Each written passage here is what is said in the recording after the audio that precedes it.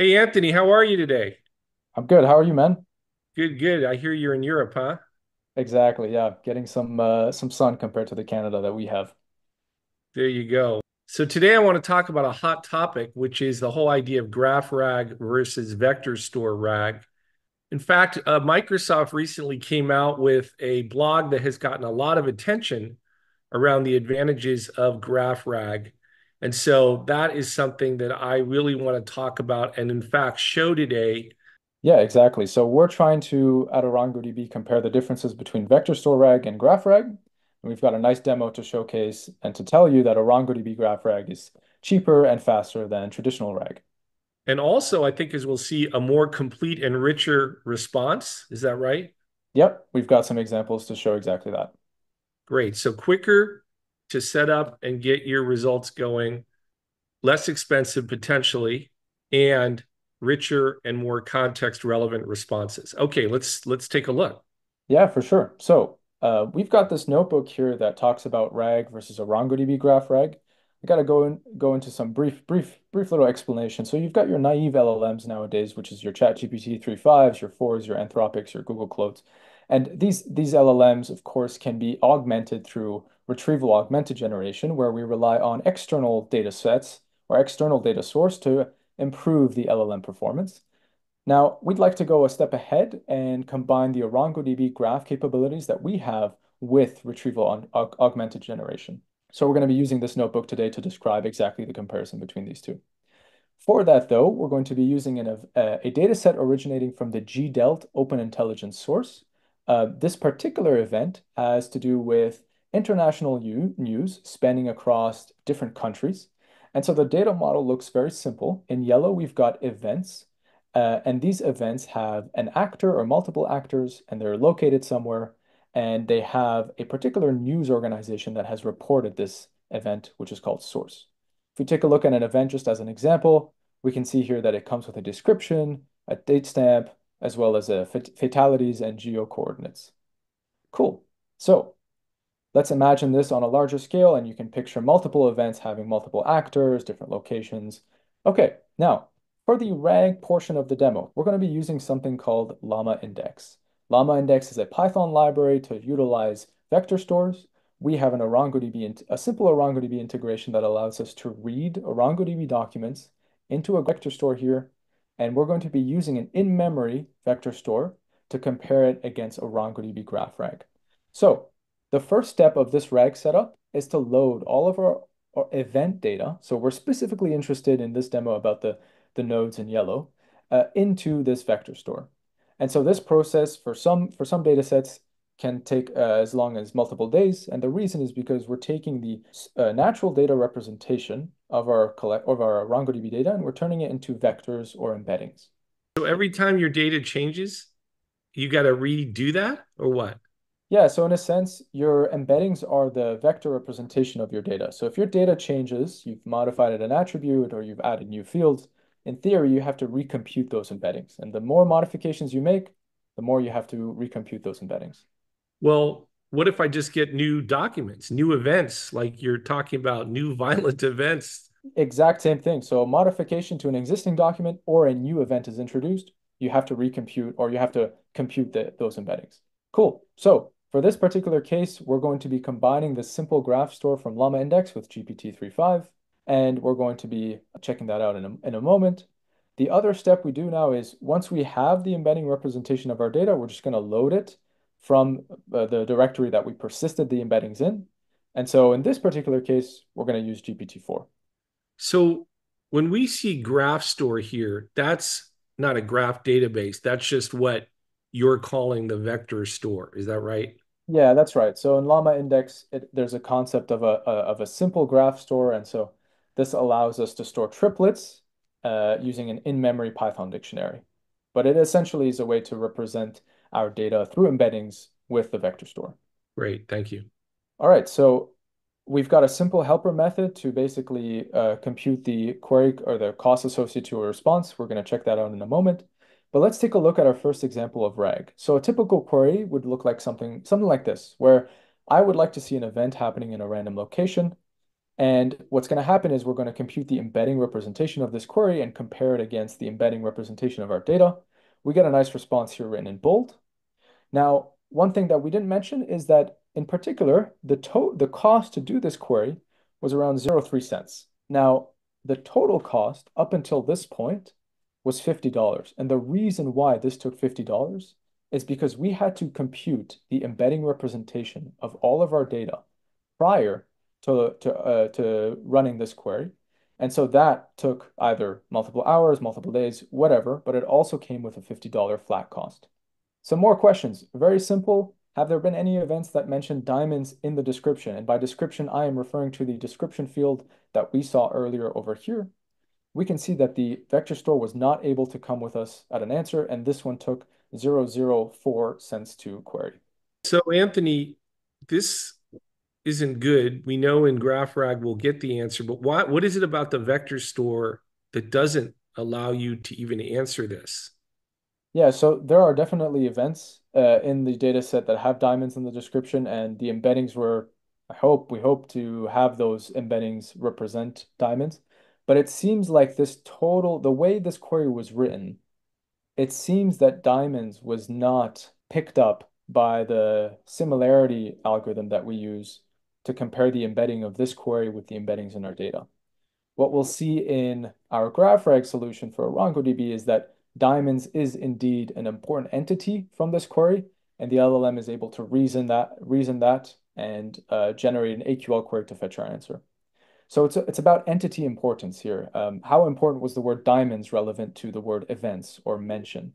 Vector stores, it is hard to determine. And so we really won't know which questions will not get answered until they're asked. kind Pretty of. much. Yeah. Yeah, that's a that's a fair assumption to make. So if we deployed this to users and we said go at it, the whole point of uh, of a chatbot or natural language is that you ask a question, you get an answer. Yeah. In this case, we see that it came up uh, shorthanded. All right, one last one. Um, this particular query is asking about the event type. So if you recall, every event is linked to an event type, which is in red. We're asking for events of violence against civilians. It does give us an answer. It's written in bold here. But I mean, we can see that it's not as verbose. It did only cost 04 cents, which is good, but we're now sitting around $50.20 for the uh, total cost. Last query, just really quickly, a more complicated one where we're interested in fetching the total, the, the most popular actor, specifically relative to the amount of events they're associated to using the fatalities count. Un unfortunately, it was also unable to answer. Okay, now at ArangoDB, we consider GraphRag as a tool that we have through LangChain. And so by extension, embeddings is not in the question. And so there's no need to maintain a vector index because we strongly believe using ArangoDB on its own is enough to achieve this natural language to natural language response that you're looking for for your external data sources. So in this particular case, we've got a LangChain graph that we're going to instantiate.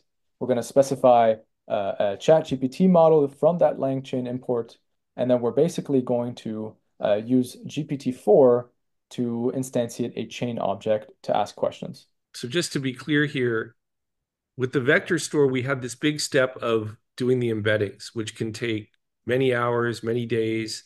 That's not at all included in this graph GraphRag piece. we we already have the data. It's got the context in it. There's no need for that. Is that what you're saying? That's correct. So in ArangoDB's GraphRag implementation, you're doing RAG directly from the source data in ArangoDB. There's no embeddings, no vector store whatsoever. Got it. Cool. All right, so if we get to the querying part after we've instantiated our chain object, we can go back to the same exact queries that we saw previously. Tell me events happening in a random location generates a nice, a nice AQL query along with a quick traversal utilizing that graph piece in order to fetch us an event that took place in Dauda. The question you would start to think of is, wait a second, 20 cents, that's more expensive than the 004 cents I saw earlier. The answer is yes, you're right.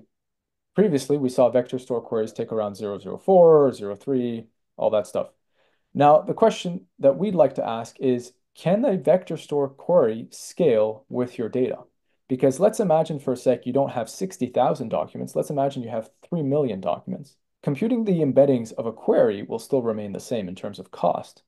But comparing that embedding to the 3 million embeddings that you've got is going to be a much larger cost than the 60,000. So we believe that this token cost for the query will be much larger as your data scales. So what I'm seeing here is that you can't predict the query cost in a vector store situation, but with our RAG situation, graph RAG, you can it, it stays pretty constant, correct? We'd like to we'd like to say that yes, the, the query cost for AQL should remain consistent because you're generating AQL query and you're fetching JSON results. Now, you have the ability to limit the JSON results you return, therefore bounding the amount of JSON tokens that are used for this query. Whereas, I mean, for vector stores, you don't you have to scan across the 3 million documents, whereas this is just a simple AQL query. All right. Let's take a look at one that we saw earlier that didn't give us any response. Events that mention diamonds in the description gives us a very verbose response with the event identifiers, the dates, along with the fact that why diamonds were mentioned in the description. Wow. So we we see we have five over here, and we see that this particular uh, query took around 22 cents to compute. So I'm seeing a consistent pattern here. The cost is yep. predictable, and mm-hmm. that's the beauty of this. The result, though, it's so rich. I mean, look at all that detail. This is one that the vector couldn't answer at all. Is that right? Absolutely. Then that's highlighted over here in bold. Yep. Right. So no answer provided for the uh, diamonds query. Here's another one. Um, has there been violence against civilians? We get a much more verbose answer. We have the date, we have the description of the event, and we have a total of 10 results that uh, are marked as violence against civilians. And so Again, similar cost as the ones that we've seen before. The only reason you're not seeing the query this time is because we've got the verbose flag set to false, but under the hood, what's happening is we're using AQL to generate and execute a, a query, and then we're returning that result as JSON and parsing that back to natural language. So let's compare just this answer all over here, just to the you know original answer that we got from Vector Store. Wow. So you know, I can I can go on. There's a, a lot more things. The the beauty of AQL is that it's multi-model, right? So with this ArangoDB graph rag piece that you see, AQL is really at the heart of this, therefore implying that you can take advantage of this product for document databases, key value, graph, and search database. What about geospatial as well? Geospatial as well. So basically anything that ArangoDB supports in terms of model capabilities or database capabilities, that is offered through AQL, you can take advantage of now through natural language. You know, I often wondered if you tried this whole RAG thing and the LLM through the LangChain, if you even tried this with a graph only database, and then you had to somehow go do a document database on the side or a search database on the side, how could you even do that in real time? You'd have to integrate each query result on the fly, I, I can't even imagine how you would do that. Yeah, it would truly become a quite a headache to manage. And so we advocate that your data should stay in one source storage as, as, as much as you can, because when you start to branch out in different data stores or different source storage engines, it just gets way more complicated. Okay, now finally, let's just wrap up really quickly. So we established that the in-memory RAG approach that we were using with vector with Llama Index, I'm sorry, took around $50 for those four queries that we did because of the upfront cost to compute the embeddings. Whereas we were sitting at around 2, $3 for the ArangoDB graph rag directly through the database via AQL.